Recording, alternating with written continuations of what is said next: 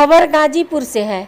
जहाँ बीएसपी सांसद अफजाल अंसारी ने कहा कि आलू का समर्थन मूल्य तय करने में सरकार ने बड़ी ही दरिया दिली दिखाई है। उन्होंने कहा कि समर्थन मूल्य से किसानों की आधी लागत भी नहीं निकलेगी। उन्होंने सरकार से आलू का समर्थन मूल्य कम से कम बारह सौ रुपये करने की मांग की। एक सवाल के जवाब में अफजाल अंसारी ने, नवरात्रि पर दुर्गा सप्तशती और रामायण के पाठ के निर्णय पर भी बोले उन्होंने कहा कि मैं मुख्यमंत्री के इस निर्णय का स्वागत करता हूँ। उन्होंने साबित किया है कि वो राजनेता से पहले मठ के मठाधीश हैं, लेकिन उन्हें अन्य धर्मों की विशेष पूजा के लिए भी ऐलान करना चाहिए बता दें कि सांसद अफजाल अंसारी गाजीपुर पत्रकार एसोसिएशन के भवन निर्माण कार्य को देखने पहुँचे थे। इन दोनों किसानों के आलू का मूल्य नहीं मिल पा रहा है जबकि सरकार है। बहुत अच्छा सवाल है आपका बेहतरीन सवाल है। हाँ, बहुत बड़ी दरिया दिली दिखाया है सरकार ने उत्तर प्रदेश की। आपने भी पढ़ा होगा। छह सौ कुछ रुपया उन्होंने। कुंटल का रेट तय किया बोरे का नहीं? तो ये साढ़े छह सौ रुपए कुंटल। और एक तरफ़ ये माननीय मुख्यमंत्री जी का ऐलान। है लेकिन देश के यशस्वी प्रधानमंत्री जी कहते हैं कि हम तो किसानों की आय दोगुना करेंगे। और आलू की पैदावार में मेरा दावा है कि बारह सौ रुपए कुंटल से कम पर अगर खरीद होगी तो लागत का आधा मूल्य भी किसान को नहीं मिलेगा। कौन है वो लोग जिन्होंने आपको ये बता दिया? किसने आपको ये बता दिया कि एक कुंटल आलू पैदा करने के लिए अ, किसानों का हम अगर साढ़े छह सौ रुपए कुंटल आलू ले लेंगे तो हमारा उपकार हो जाएगा। ये क्या बात है? साढ़े छह सौ रुपए कुंटल? इस पर पुनर्विचार होना चाहिए।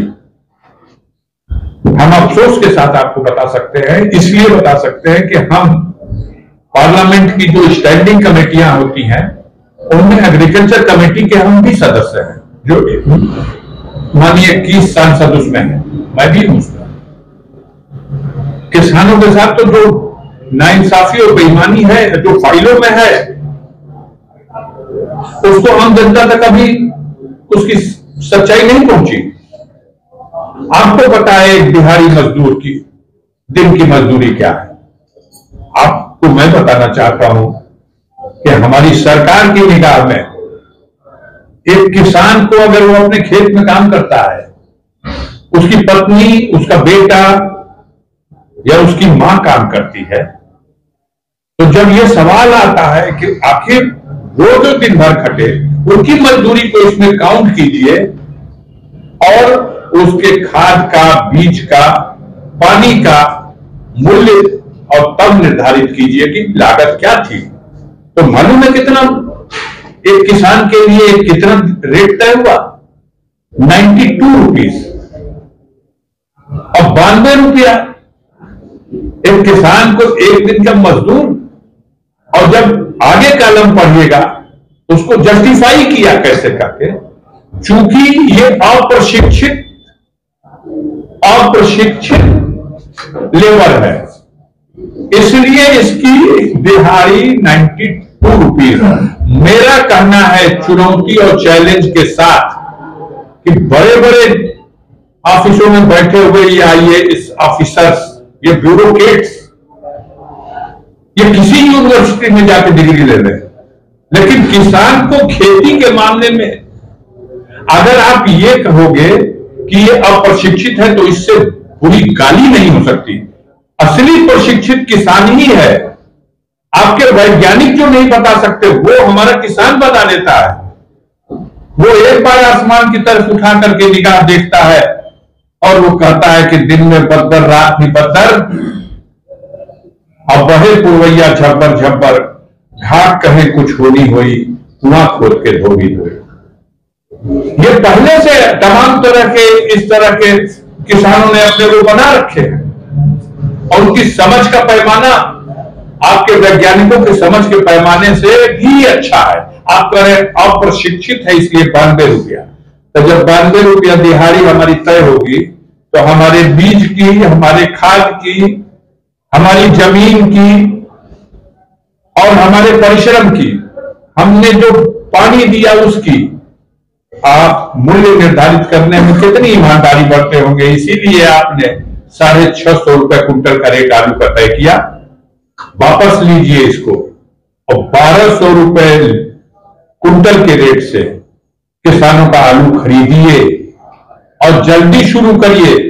ये ऐसी कच्ची फ़सल है जो देखते देखते इस धूप में और इस गर्मी में सड़ जाएगी बर्बाद हो जाएगी। ये मेरी अपील है आपका बहुत अच्छा सवाल था। संसद जी एक और सवाल है नवरात्र शुरू होने वाला है। जी। और मुख्यमंत्री ने कहा कि नवरात्र में दुर्गा सप्तशती और हमारे पाप का आयोजन करना है। तो क्या इसे राजनीतिक माना जाए या धर्म धार्मिक रीति से माना जाए मैं उनके इस निर्णय का स्वागत करता हूँ।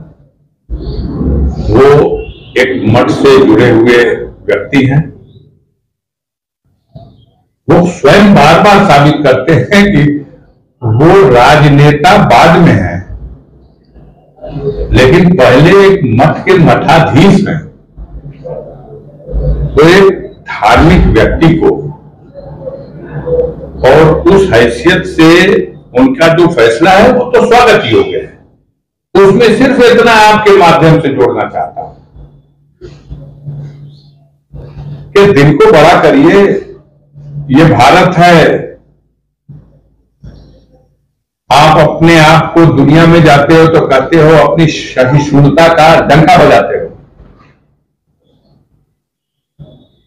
आप ऐलान करिए इसके साथ ही साथ, या जब समय आए तो ऐलान करिए कि अन्य धर्मों के लोग भी जब अपने आराध्य का कोई ऐसा अवसर आएगा, जब उसकी कोई विशेष पूजा करेंगे या उसकी कोई विशेष इबादत करेंगे तो उसके लिए भी राज्य सरकार के खजाने से और राज्य सरकार के मुखिया की हैसियत से तमाम दिशा निर्देश जारी किए जाएँगे, ताकि सभी धर्मों का, देश में रहने वाले सभी वर्गों का सम्मान हो सके और सभी तरह के लोगों में एक संतुलन रहे।